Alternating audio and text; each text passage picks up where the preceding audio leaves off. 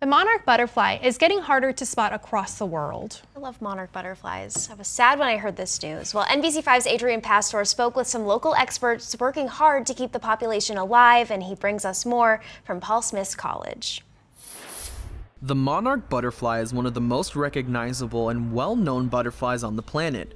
Recently, the International Union for Conservation of Nature, better known as the IUCN, has listed the migratory insects as an endangered species. Less rain, more drought conditions are uh, tamping down milkweed growth, for example, and again, getting back to monarchs, um, they're dependent on that plant, and if we're losing that due to drought and, and higher temperatures, we're putting populations at risk. Scientists estimate the population of monarch butterflies is dropping rapidly. Martha Vandervoort runs the butterfly house at the Paul Smith's College Vic.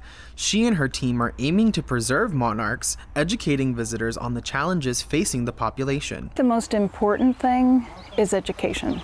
And through bringing native species into this very small, intimate quiet environment, we're able to engage people in the diversity of life and show them the diversity of moths and butterfly species that live here in the Adirondacks. The Butterfly House works closely with researchers tracking and aiding butterflies at all stages of their life cycle, even taking part in an international effort tagging nearly 200 monarch butterflies each year in hopes of learning more about their migratory pathways. Today we put our new milkweed in the tanks, and this one actually had seven caterpillars and they all, except for one, have crawled up and made their chrysalids. Student Allison Lamb says anyone can help these beautiful butterflies by simply planting milkweed in their home gardens. Even if it's just in our corner, you know, we can really make a difference. As of right now, the United States has yet to declare the monarch butterfly as an endangered species. Vandervoort says the IUCN's move to place the species on its list